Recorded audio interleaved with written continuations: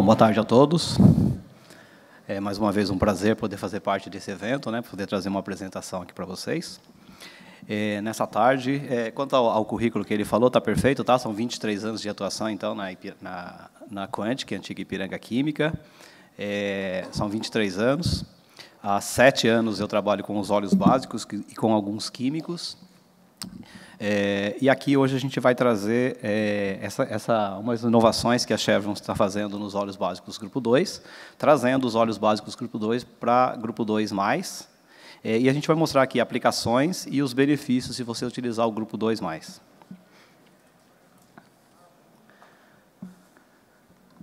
Nós vamos falar um pouquinho de quem somos, né? vamos falar das nossas empresas. Vou falar de algumas tendências de óleos básicos. É, fundamentos dos óleos básicos grupo 2.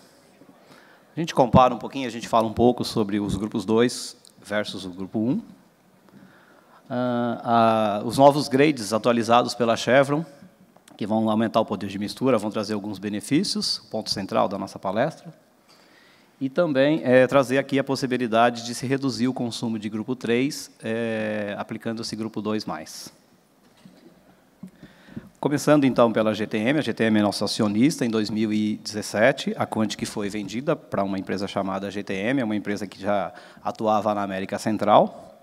Com a aquisição da Quantic, a GTM passou a estar presente em 11 países, é, conta com mais de mil colaboradores, atua em mais de 50 segmentos de mercado, é, são aproximadamente 11.500 clientes, uh, 19 laboratórios de aplicação em qualidade, 50 instalações, sendo quatro terminais marítimos. É um volume aproximado de 600 mil toneladas anos, em 2018, 78 mil metros cúbicos para armazenagem de granéis líquidos e 82 mil metros quadrados para armazenagem de, de demais produtos. A Quântica, a Quântica é mais conhecida já né, no Brasil, o maior distribuidor de produtos químicos do Brasil. Perdão maior produtos químicos do Brasil, com atuação regional, mas também com cobertura regional, principalmente depois da, da aquisição pela GTM, padrões de qualidade globais, mais de 300 colaboradores, na verdade, bem, bem mais próximo de 400 já, atende mais de 5 mil clientes, tem mais de 60 companhias representadas, atua em mais de 20 segmentos e tem uma estrutura infralogística única no Brasil.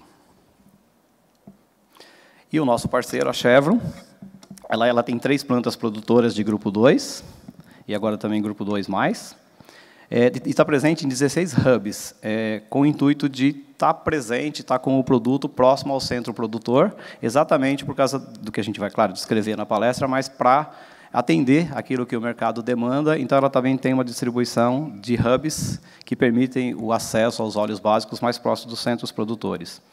É, Santos, no caso, é onde exatamente está a Quantic é, onde a Quantic mantém os, os, inventários. E um total de mais de 4 milhões de barris é, de capacidade de armazenamento global. Isso é uma garantia de fornecimento para quem decide utilizar os óleos básicos do Grupo 2 Chevron. Okay? É, a gente vai falar um pouco de tendências, então, de mercado, coisas que alguns de vocês já fazem. Eu não sei se hoje de manhã teve alguma palestra que alguém já trouxe, alguma coisa assim, mas, enfim, vamos comentar um pouco. Né? É, devido às especificações mais restritas, principalmente dos óleos automotivos, nós passamos a ter aí uma necessidade de algumas inovações nos óleos básicos, e tudo isso buscando o quê? Uma maior economia de combustível e a diminuição das emissões. É, então, a gente tem, teve novas demandas de grupo 2 e grupo 3 instaladas ao longo de alguns anos, e a gente nota que hoje a capacidade já dos óleos premium já começa a superar a demanda é, é, é, já, já começa a superar a demanda. Perdoa que está um pouco nervoso aqui, que toda vez aqui é como a primeira vez, entendeu? Eu vou até ler aqui que fica mais fácil. É, e hoje já o, essa grande oferta do grupo dos óleos primos, os grupos 2, grupo 3, eles já começam a inviabilizar as plantas de grupo 1, tanto é que já se nota muitas plantas de grupo 1 que já fecharam ou em vias de, né? A gente nota até uma assim, uma mudança aqui local do produtor local em relação ao ao posicionamento do grupo 1, já que existem as demandas para o grupo 2, grupo 2, grupo 3. E é, já tem assim uma, a, os, os, produtores de grupo 2 já começam a se atualizar também para competir com os produtores de grupo 3. E nota-se também uma entrada muito maior agora de grupo 2 mais e grupo 3 mais também, né? A gente está hoje praticamente em 2019 num ponto de interseção, né, onde as curvas vão se cruzando ali, mas em aproximadamente 10 anos o cenário vai estar bem diferente. É, com isso, como as, as, as, especificações mais restritas, também alguns setores, é, alguns centros produtores, eles também atraem esses óleos é, básicos premium, né? Então a gente nota ali o grupo 2 principalmente vindo da América do Norte. Deixa eu achar o ponto aqui. É, o grupo 2 vindo da América do Norte, para as diferentes regiões. É, o grupo 3 vindo da Ásia Pacífico, e agora, mais recentemente, a gente nota grupo 2 e grupo 3 também do Oriente Médio.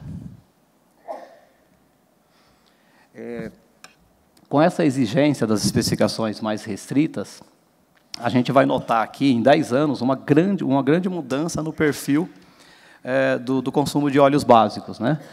Por quê? Porque os lubrificantes é, automotivos exigem algumas características que o óleo grupo 1 já não consegue entregar mais. Né? Então, você vai precisar de alta pureza.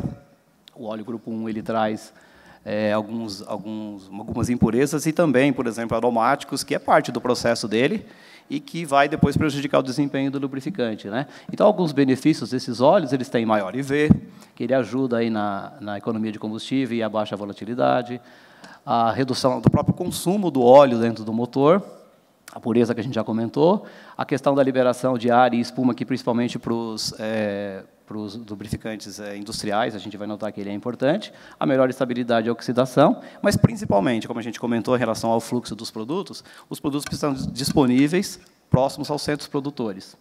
É, eu, eu, vou, eu, vou, trocar o gráfico aqui, né? a gente está vendo ali 2006. Quando a gente olha lá para 2016, o grupo 1 já caiu pela metade, e o grupo 2 e o grupo 3 já dobraram as suas, é, a sua participação no mercado. Né? É, e aí, com isso, com as especificações mais restritas para os óleos automotivos, os lubrificantes industriais também se beneficiam disso, pela alta pureza, essa questão da liberação de ar e espuma, a estabilidade de oxidação, e o alto teor de saturados, que aí melhora a resposta dos aditivos. Só um minuto. Aqui em cima a boca seca muito.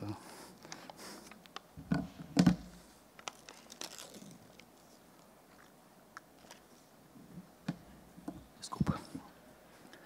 Ok. E aí, vamos então agora, é, ainda continuando, né? Falando dos fundamentos dos óleos básicos grupo 2. Como lubrificante ele, ele, ele é praticamente óleo básico, né? Você tem os aditivos para ajudar nas propriedades. Então é crítico a performance do óleo básico para boa é, é crítico a performance do óleo básico para boa performance do lubrificante. É porque o óleo básico vai conferir o filme, né, o, o filme lubrificante e também a viscosidade mínima que o óleo precisa. Uh, ainda nos fundamentos, as moléculas é, para, perdão, as moléculas parafínicas e de cadeia longa, elas vão melhorar o IV do óleo, enquanto que moléculas aromáticas vão piorar a estabilidade de oxidação e a performance dos aditivos.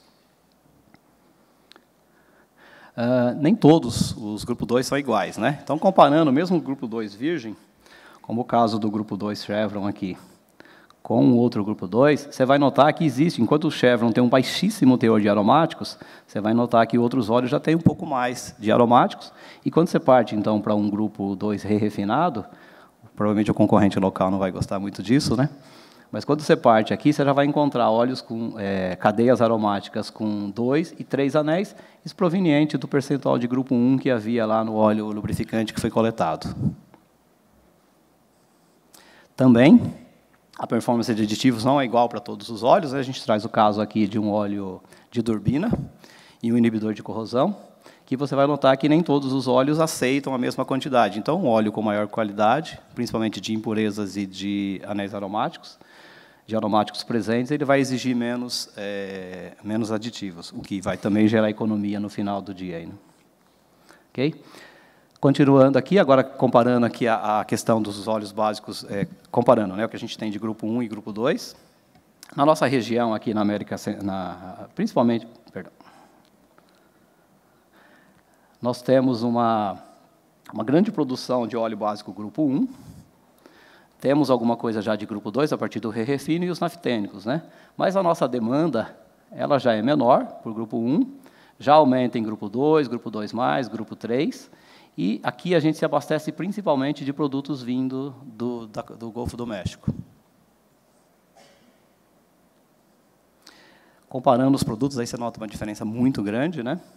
Aqui está o padrão da Chevron, né, o Crystal Clear. Uh, e assim, quando você faz o comparativo, você tem uma baixa pureza nos óleos grupo 1, é porque por ser um processo de subtração dos óleos, vai cortando o óleo, na verdade, né, vão ficando ali alguns componentes polares insaturados que depois vão acelerar a, oxidação do óleo, vai diminuir a estabilidade de oxidação e comprometer o desempenho dos aditivos. Né. Já no grupo 2, que é produzido por hidroprocessamento, você vai refinando por conversão de moléculas, você vai, você vai construindo o óleo. Né? Aí, com isso, você tem uma maior estabilidade de oxidação e, principalmente, o baixíssimo teor de aromáticos e altíssima pureza. Assim, mostrando quais os principais componentes que permanecem no óleo é, grupo 1, né? Ele, principalmente aromáticos, que a gente nota, mas enxofre e nitrogênio também vão prejudicar a, o desempenho do lubrificante no final. Né? E o que, que eles causam? O, os aromáticos, eles, como a gente já comentou algumas vezes, diminuem a estabilidade de oxidação. O enxofre, ele vai formar o ácido ziborra, e o nitrogênio ajuda a promover a formação da laca e verniz. E aí, entrando finalmente na questão da atualização dos óleos é, grupo 2 da Chevron, né? É, alguns até já conhecem os produtos da Chevron, o 100R, o 220R. O, a, a, melhoria feita no produto, o update feito no produto, é, ele trouxe a qualidade do o óleo, o óleo é, o Chevron 100R, ele trouxe para a qualidade do grupo 2 mais, grupo 2 plus, e no caso do 220R, o neutro médio, ele teve a, a volatilidade reduzida. É, com menos volatilidade, é, você tem melhores propriedades a frio, é, e você tem uma melhora também no seu poder de mistura, porque você começa a ter mais facilidade de misturar o produto, cobrindo uma gama maiores de produtos. Né? Com isso, você vai reduzir até o volume de grupo 3 é, necessário para a sua formulação, para atingir a especificação, diminuindo daí a, a complexidade da mistura e, é, no, fim do dia, o custo da, da formulação. Né? E, principalmente, uma outra vantagem também é que esses óleos eles vão estar disponíveis, ou está, eh, alguns lugares já estão, mas em setembro nós já vamos estar com eles disponíveis também, aqui nos mesmos hubs que a gente tem o 100R e o 220R atuais. E o que, que efetivamente foi feito, então, no produto? Qual foi a atualização feita? Eis aqui. Nós temos, então, eh, com essa alteração feita, uma, uma, um aumento muito significante, muito significante do IV, é, apesar de ele não andar ali perto do mínimo, né, ele, é, o típico é 102, mas ele, ele vai para uma faixa bem superior e apresenta um resultado bem superior também. Então, você tem uma, um aumento do índice de viscosidade. Você tem também uma redução do CCS. É, já não andava lá perto do mínimo também, mas o mínimo foi, um, perdão, o máximo foi é, também reduzido. E você tem uma melhora significativa. Você vê que você cai aqui aproximadamente aí uns 8% da, do CCS, né? E também a questão da volatilidade da NOAC, que reduz aí em 10%, está sendo reduzido tipicamente em 10%. A mesma coisa para o 220, que também, né, ele tinha um máximo de 12, vem para 10, mas tipicamente ele cai de 11 para 9. Tá? Traz as características, então, do grupo 2+. Mais. Com isso, é, para esses óleos básicos que exigem é, Tipicamente exige grupo 3, principalmente por causa da menor volatilidade e as melhores propriedades a baixas temperaturas, os óleos os 0W, 5W e o 10W, né, aplicações típicas de grupo 3, você já consegue atender especificações a baixa, a baixa viscosidade utilizando produtos, os, os óleos, é, os, os novos grades do, do grupo 2 Chevron. Você, pode, você reduz aí a necessidade por grupo 3 e, no fim do dia, você reduz o custo, né, pela diferença de custo do grupo 2 e grupo 3, e também toda a complexidade da mistura. Né? Misturar menos óleos vai ser um pouco mais fácil. E aí, é, como a gente diz, para os óleos grupo 3, você consegue substituir o grupo 3 em formulações Poderia substituir completamente aqui para óleo 5W para carros de passeio e para Heavy Duty 10W e até 40% de óleo 0W. Com isso, você vai reduzir a complexidade da mistura e, com um custo menor, atingir as mesmas especificações.